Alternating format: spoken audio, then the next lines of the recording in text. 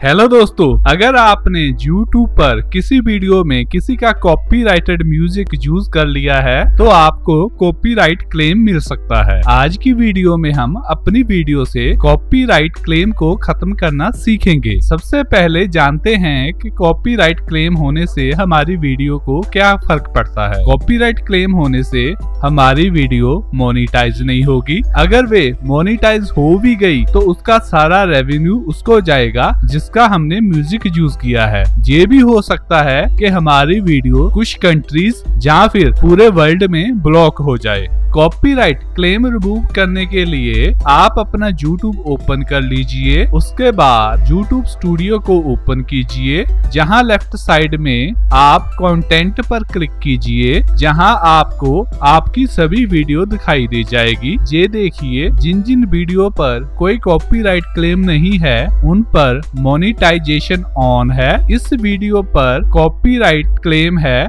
तो ये video monetization के लिए इन एलिजिबल है। जहाँ पर कॉपीराइट क्लेम लिखा हुआ है, आप वहाँ पर क्लिक कीजिए सी डिटेल पर क्लिक कीजिए तो उसकी सारी डिटेल खुल जाएगी। कि किस म्यूज़िक की वजह से आपको कॉपीराइट क्लेम मिला हुआ है और उसका क्या इफ़ेक्ट है। आपके पास चार ऑप्शन है। आप इन चारों में से किसी को भी यूज़ करके कॉपीराइट क्लेम को रिमूव कर सकते हैं। पहला ऑप्शन है ट्रिम आउट सेगमेंट का। अगर आप इसको यूज़ करेंगे तो आपको ऑप्शन मिलेगा कि आप अपनी वीडियो का उतना हिस्सा डिलीट कर दो, जिसमें कॉपीराइट क्लेम मिला हुआ है।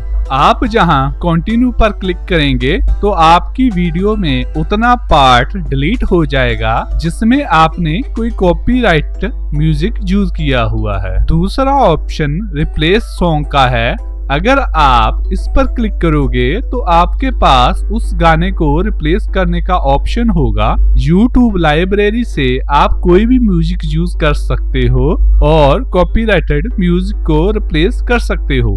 आप जहाँ से म्यूज़िक प्ले करके देख सकते हो, जो भी म्यूज़िक आपको अच्छा लगे, आप जहाँ से ऐड कर लीजिए तो आपके कॉपीराइट म्यूज़िक की जगह वे म्यूज़िक ऐड हो जाएगा। आप सेव पर क्लिक करोगे तो वीडियो प्रोसेस होने के बाद आपका कॉपीराइट म्यूज़िक रिमूव हो जाएगा। आपके पास तीसरा ऑप्शन उस म्यूज़िक को म्यूट करने का है। आप जहाँ से जा तो उतनी वीडियो का पूरा म्यूज़िक ही म्यूट कर सकते हो। वीडियो में कोई ऑडियो प्ले नहीं होगी। या फिर बीटा वर्जन में आप सिर्फ़ और सिर्फ़ जो कॉपीराइटेड म्यूज़िक है, उसी को रिमूव कर सकते हो। बाकी साउंड वीडियो में रहेगा। आप कंटिन्यू करोगे तो जे वीडियो प्रोसेस होगी, उसके बाद वे म्यूज़िक हट जाएगा और आपका कॉपीराइट क्लेम भी हट जाएगा।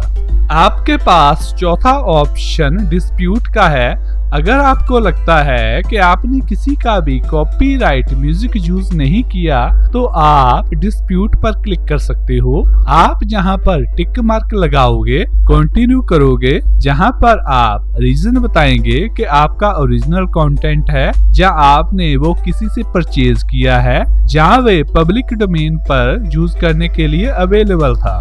आप इनमें से जो भी ऑप्शन आपको सूटेबल लगे, उसको टिक मार्क करके कंटिन्यू कर लीजिए। आपको दोबारा टिक करना पड़ेगा और जहाँ पर आपको अपनी पूरी बात डिटेल में लिखनी पड़ेगी, जहाँ पर आपको सभी जगह टिक लगाना पड़ेगा, सिग्नेचर में आपको अपना नाम लिखना है और सबमिट कर देना है। यूट्यूब आपकी वीडियो को चेक करेगा अगर उसको लगेगा कि आपकी वीडियो सही है और उसमें आपने किसी और का कॉपीराइटेड कंटेंट यूज़ नहीं किया तो यूट्यूब आपका कॉपीराइट क्लेम रिमूव कर देगा। तो दोस्तों, अगर आपको यह वीडियो अच्छी लगी हो तो प्लीज़ इसको लाइक एंड शेयर कीजिएगा।